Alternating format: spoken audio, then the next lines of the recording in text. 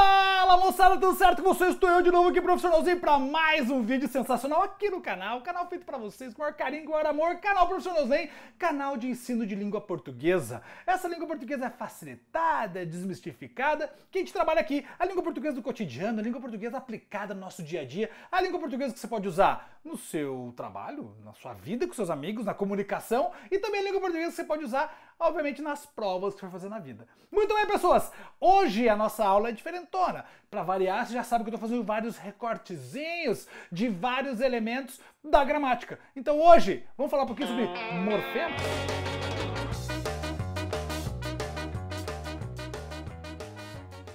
Muito bem, pessoas, morfemas, né, que vem da morfologia. O que é tal da morfologia? Morfologia é o estudo da forma, estudo da formação. Nós já falamos sobre isso, nós temos uma aula completa sobre aqui morfologia. Você pode clicar aqui no card e assistir essa aula completa, depois volta para cá.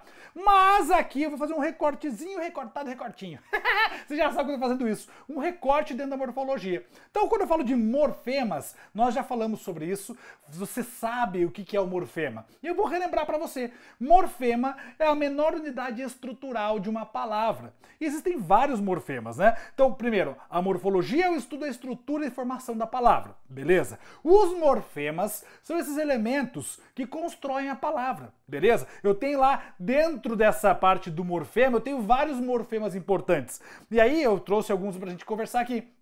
Tem lá o radical, que é um morfema. É, e aí você não lembra que radical, essa aula que eu apontei no card, também traz o que é radical. Então o radical, que é a raiz da palavra, é um morfema. Você tem lá os afixos. O que, que são os afixos? Os afixos são divididos em dois, né?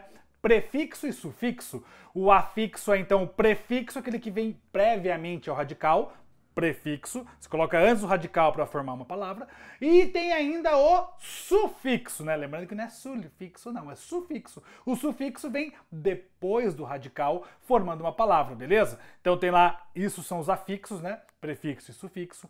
Tem também a vogal temática, que é essa vogal que vem junto do radical aí formando a palavra tema, a palavra base, certo? E eu tenho aí lembrando que a, a, a, essa vogal temática ela só faz isso, ela constrói a palavra tema, beleza?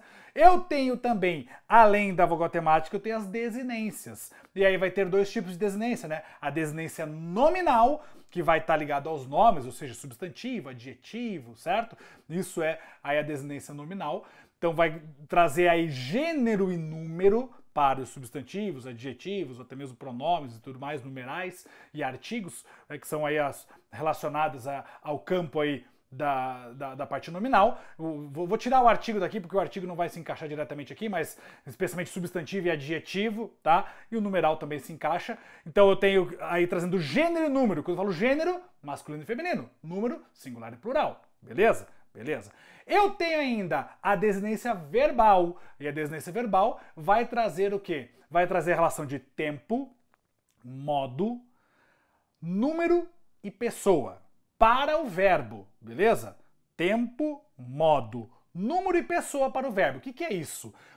Quando eu falo de tempo, se é presente, se é passado ou se é futuro, beleza? Isso quer dizer que dentro da desinência verbal eu encontro isso. Ou ainda, ele vai trazer também a relação de modo, e aí pode ser modo indicativo, modo subjuntivo, imperativo, beleza? Eu tenho ainda também, além do modo tempo, eu tenho número, que é singular e plural, certo? Singular e plural para o verbo. E além do singular e plural, ou seja, número, eu tenho também a relação de pessoa. O que é pessoa? Primeira, segunda e terceira pessoa do singular ou primeira, segunda e terceira pessoa do plural. E aí você vai lembrar né, que na conjugação verbal você tem lá eu, tu, ele, primeira, segunda e terceira pessoa do singular, nós, vós e eles, primeira, segunda e terceira pessoa do plural. Tranquilo? Então as desinências verbais trazem essa relação. Muito bem, eu vou trazer um exemplo para você aqui, ó. A palavra nascer, ou o verbo nascer. Tem o radical? Tem, que é nas, né? Até o ser, ele é o radical. É a raiz da palavra.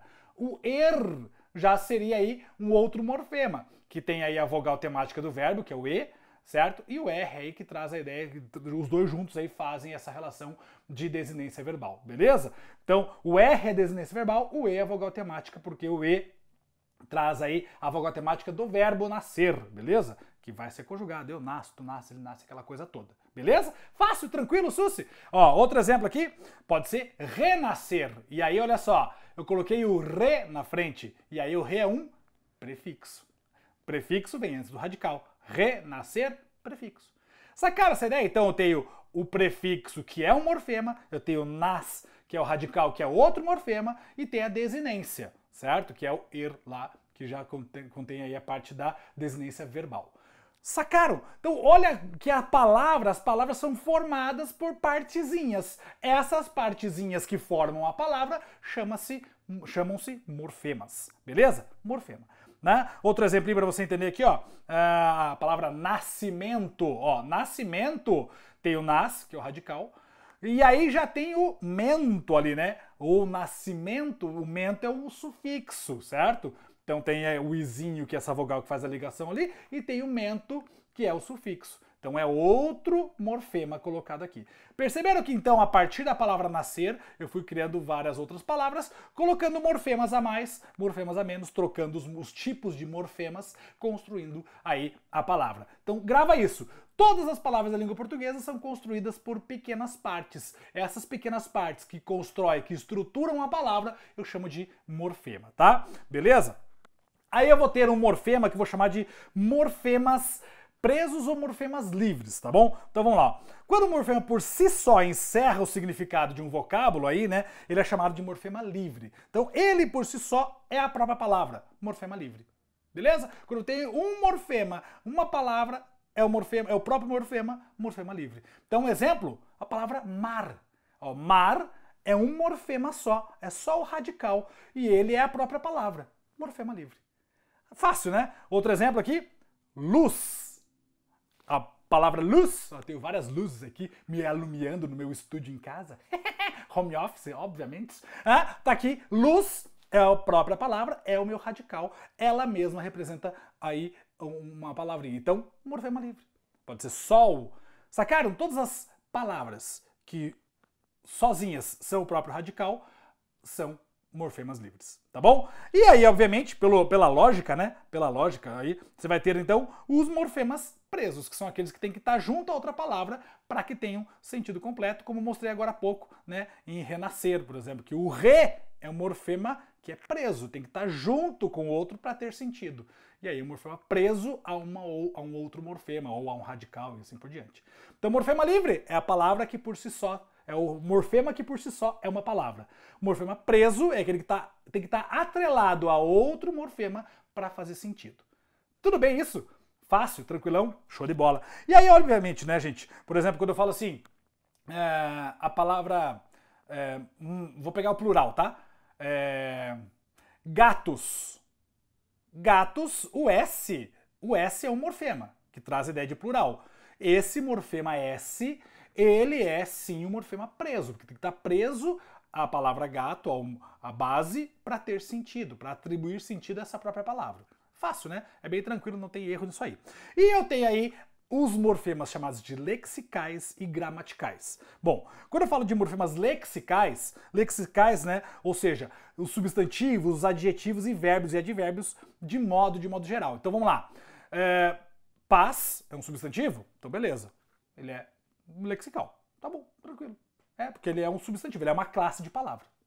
Certo? Ele faz parte do léxico. Quando eu falo léxico, entenda vocabulário.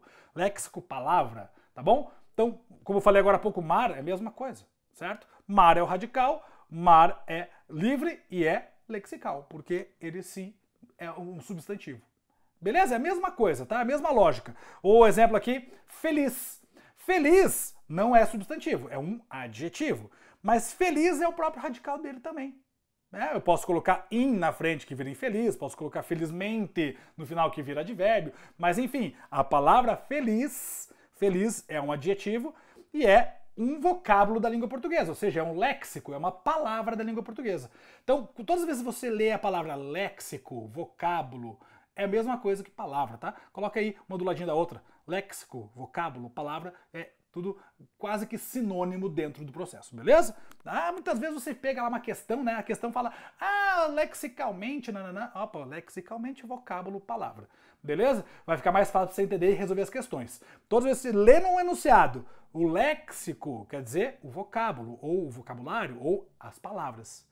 Sacaram? Aí fica mais fácil você entender como resolver uma questão, certo? Beleza? Então, esse é um exemplo.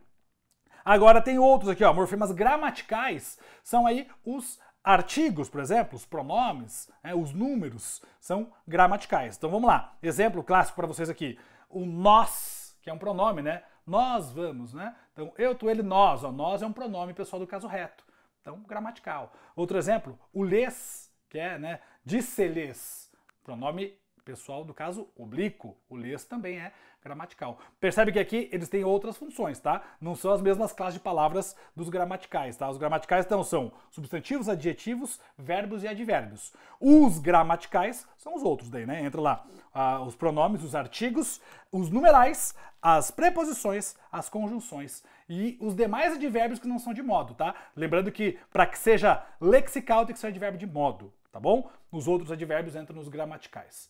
Então, um exemplo, vários exemplos aqui, ó os, nós, lhes, dois, três, para, sem, que, fora, dentro, mas, são todas outras classes de palavras que entram nos gramaticais porque auxiliam na construção gramatical. Ó, esses auxiliam na construção gramatical das palavras, ou melhor, das orações. Na construção gramatical, eu tenho os morfemas gramaticais. Ó, que simples. Então, construção gramatical, né? E aí eu tô falando de oração. Quando eu estou falando de classe de palavra, é lexical. Beleza? Então, põe aí para nós a tela, edição. Lexical, põe todos que são da lexical. Substantivo, adjetivo, verbo e advérbio de modo. Agora, gramatical são os outros, né? Que vai estar tá lá. É, artigos, pronomes, numerais, preposições, conjunções e os demais advérbios. Show? Tranquilo? Fácil, massa. E aí nós classificamos os morfemas e eu mostrei para vocês a diferença de cada um dos tipos de morfemas que nós temos. E os morfemas dentro aí da relação também da classe de palavras, né? Lembrando que classe de palavras também tem uma aula completa de classe de palavras aqui. Só clicar aqui no card. Renan, se vira bora aí! Classe de palavras. Galera, clica e assiste classe de palavras para poder entender melhor. Show de bola isso! Tranquilo? Susquenemus leve como neve, de boa na lagoa, manso feito ganso, suave na sala, beleza na represa? Pois bem, pessoas, espero que vocês estejam entendendo tudo. Esteja tranquilo, sus. E aproveita, faz, sabe, sabe o que você faz agora? Comenta aqui embaixo o que mais você quer de conteúdo aqui, porque toda segunda e toda quinta tem aula nova para vocês. Bota aqui nos comentários para mim o que você quer ver de conteúdo aqui no canal, eu vou preparar especialmente para vocês, certo? Porque afinal de contas, esse canal existe para vocês com todo carinho, com todo amor. Show de bola? Tamo junto? E é isso, pessoas. Ah, mas você não pode esquecer uma coisa muito importante. Já aproveita também, se inscreve no canal, clica no like, dá seu like, compartilha com a galera da sala, manda nos grupos do WhatsApp da galera aí, certo? E obviamente também, se quiser, faz parte do clube de membros nosso aqui, que tá chegando novidades. Tamo junto, um abraço, até a próxima, valeu, fui!